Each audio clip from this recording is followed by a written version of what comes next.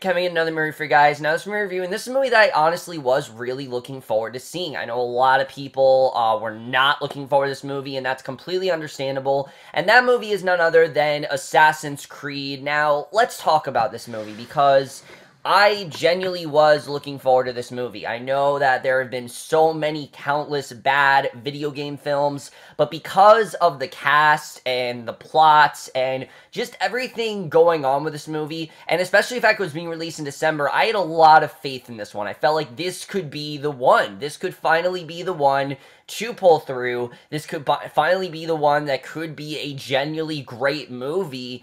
And unfortunately, I will say that Assassin's Creed is just a smidge better than some of the really horrible video game films, but it's still not a good movie. Assassin's Creed is a very sluggishly um very boring film filled with tons of missed opportunities that does present some very interesting ideas but never really banks on them in the way that it should and let's just get to the plot of Assassin's Creed because that's the thing that had me interested in this movie. I thought the plot sounded genuinely quite interesting and I thought that they really could do a good job with it especially because the main character of this movie is written for the film. Callum Lynch is our main character played by Michael Fassbender and he's completely a blank slate. He's told very early on the film that he is completely erased, that he no longer exists in the world, and he's rescued to basically be he's you know playing on being executed and everything. And he goes to uh, abstergo industries where they save him basically and learns they're searching for this thing called the apple of eden which essentially is going to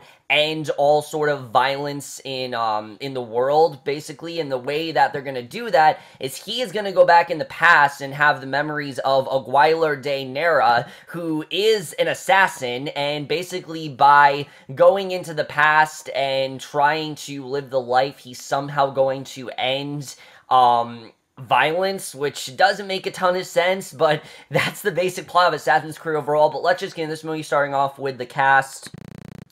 Because that's the thing that I thought was looking really good here. The cast here uh, is genuinely very good. I really thought that they were all going to do a good job. And I will say, the acting here is not that bad. I really don't think that they did that bad of a job. Let's talk about Michael Fassbender, because in my opinion, the dude cannot give a bad performance. He's one of the best actors working today. Every movie he does, he gives it his all. And while I think he really does try here as Callum Lynch, the problem is he just doesn't have a ton to work with. Like I said, this is a character who has a very blank slate, who doesn't remember a ton of stuff, who really doesn't know where he's going to go, and it comes across as very, very kind of boring. I mean, this is a very one-dimensional character that's really not that interesting, and they try to give him character development. I don't want to say they don't try. They definitely do try to give it to him, but it's very, very very sporadic throughout the film, and Fassbender, I think, does do a good job. He just doesn't really have a ton to work with. Like, there's this one scene where he's kind of freaking out, and you can tell that him going back in the past, the weight that it's having on him, he does do a good job of that. You can tell that this definitely is very much affecting him, that he really doesn't want to do this, but he's kind of forced to. And he did do a good job what he had, he just doesn't really have a ton to work with. And I thought that he was good in the role, he just wasn't really, he just didn't really, like I said, have a ton to work with. But then when he was Aguilar de Nerha in the past, I thought he definitely did have some good stuff to work with. I thought he did a good job as a character. Again, very flat, though. There really wasn't much going on with that character. I didn't feel like Fassbender was fully into the role. I could definitely feel like he was more into the role as Callum than he was as the other. And it makes sense because there's only about maybe 20 minutes of screen time from Aguilar. He really doesn't have too much to do in this movie. You see him more as Callum, and they're both really not that interesting characters. Aguilar does definitely have the more interesting stuff, but in general, this is definitely one of Fassbender's weaker performances, which really does suck because he seemed like a thing was really going to anchor this film. And when he's not as good in the movie, the the rest of the movie kind of is crumbling because of him.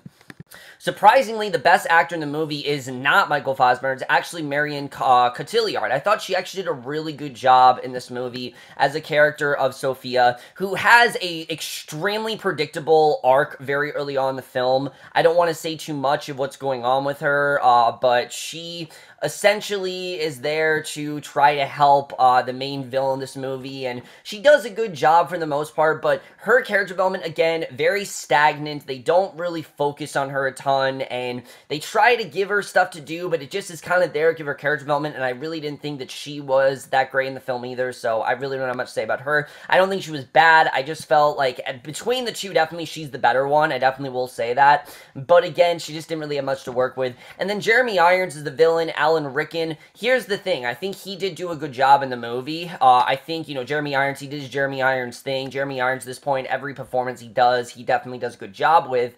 The problem is that this character he's playing of Rikkin has a goal that really, when you think about it, makes no sense whatsoever. I mean, this is someone who wants to completely eradicate the world of violence. He doesn't want any violence in the world. So how is going back in time to be an assassin prevent violence from the world? It just doesn't really make much sense there. The motive is very unclear with what he really wants to do, why he wants to do this, how this is really going to help. It's really not explained. And because that as good as Jeremy Irons is, it becomes across as very flat when they don't really develop his characters. And that's really the problem with this movie is that while they try to develop these characters and while they do give good performances, even Michael K. Williams I thought was pretty good in this movie, they just don't really give necessary character development for us to care about these characters.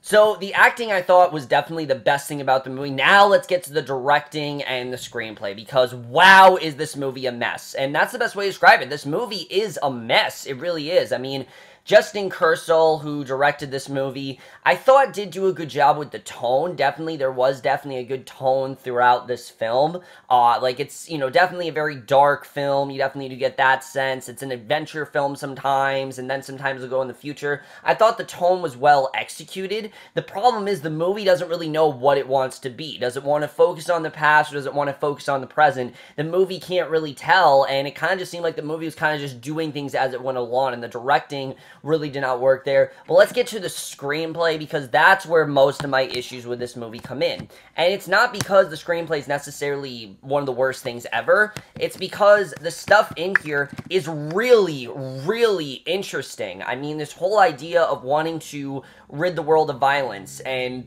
make sure that violence is, you know, eradicated from the world, I think is overall a very interesting concept. The problem is the movie never really takes the time to focus on it. It talks about it and then it just kind of goes away. You know that that's what's going on, but the movie doesn't really give you a ton to work with. There are a couple exposition scenes that I really feel the movie would have benefited a little bit more from if we did have more exposition scenes because I want to know more of what's going on.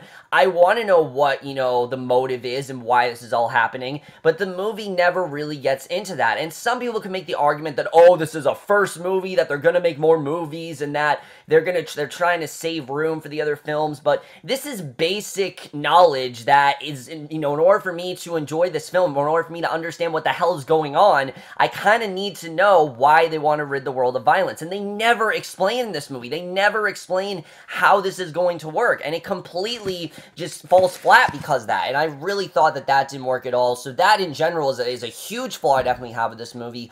The other problem is the movie does not know how to focus on these characters because, yes, they do give them character development, but like I said, it's very, very stagnant. Uh, there's this scene where Marion Cotillard, you know, she goes to Callum and she tries to tell him if something had happened with her to try to like bond these two together. Because you can tell they're trying to get these two to have something that bonds them together and have something that makes them very similar but it just doesn't work because immediately they don't talk about it after that. It just kind of is there and then it goes away and none of it really works out in the way that it should. I felt the character development just wasn't really there because the movie instead wants to focus on the story that it really is very half-assed and really doesn't really know what to do with, in my opinion. And the general conflict of Callum in general, again, didn't really make much sense to me. Why was Callum chosen? Why is chosen? Why is he the guy to be Aguilar? How does he have all these memories? That stuff the movie doesn't really, you know, make sense of. I mean, throughout the movie, we get the knowledge that he goes into like this pod where he then takes on the life of Aguilar, and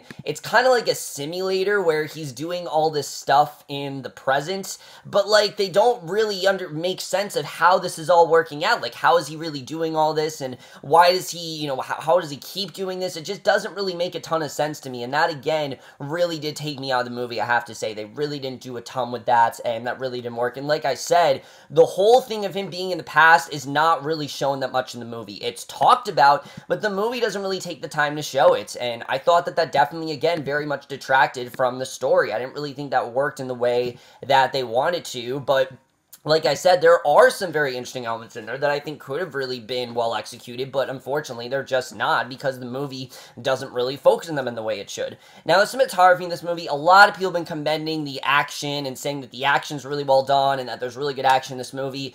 I'm not quite sure what they're talking about because the action in this movie is extremely rushed, is extremely messy, and is the exact way of not to film action. I mean, there's so much slow mo in this movie, there's so many jump cuts in these action scenes scenes. There's so much shaky cam in these action scenes that it's even, it's hard to get into them really. I mean, it really is because they last maybe like five minutes and then they'll go back to the story and I really could not get into these action scenes, I have to say. Like, definitely I did feel some tension in the beginning of the movie, but most of the action scenes were kind of just there. Like, I watched them, they were a thing, and they're really not memorable at all, especially the final battle in this movie.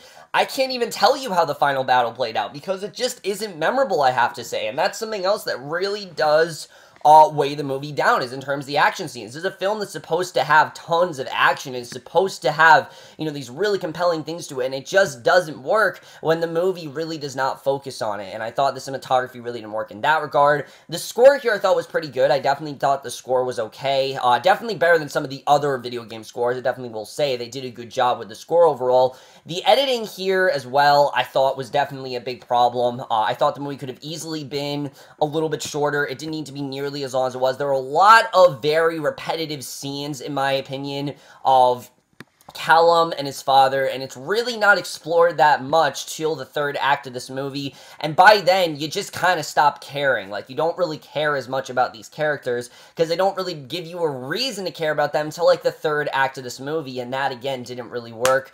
However, the one thing I think that actually weighs this movie down is not an issue with any of those things. It's actually an issue with the rating. The fact this movie is PG-13 just baffles me. I have no idea why they decided to make this movie PG-13. I mean, the games are M.